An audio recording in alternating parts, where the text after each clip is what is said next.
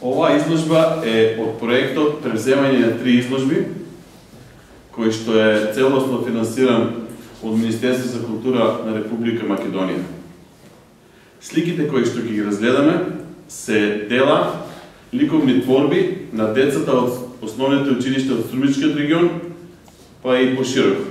Ова изложба која што денес ќе ја гледате, дел од вас може би и, и ми е позната, бидејќи тоа е традицио... ликовните творби се дел од една традиционална манифестација која што е насловена како Републички детски ликовни средби 2018.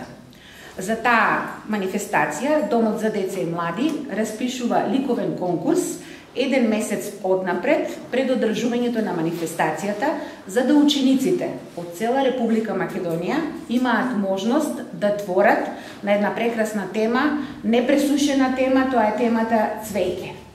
Кога творат за цвеќето, секогаш има огромен број на цртежи.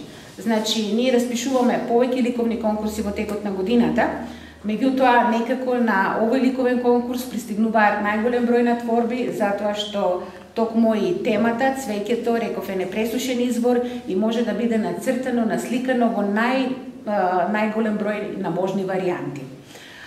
Тие цртежи кои што пристигнуваат кај нас, на вистина бараат голема работа од нас вработените во Домот за деца и млади, нивното евидентирање, нивното средување, додека дојдат до ова што сега го гледате, Меѓутоа, задоволството да се работи со цртежите, со вашите трудови, е многу поголемо од трудот кој што се вложува.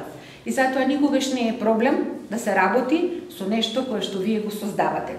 Тоа е првиот дел од манифестацијата, кој подоцна ова изложба се изложува во Домот на културата, доаѓа тричлена комисија, дел од таа комисија или ликовниот уметник Звонко Тилев, кој што е вработен во Домот на културата, Јане Сандански од Ново село, ги оценуваат и Домот за деца и млади дава пригодни награди за понатамошна креативна работа на децата.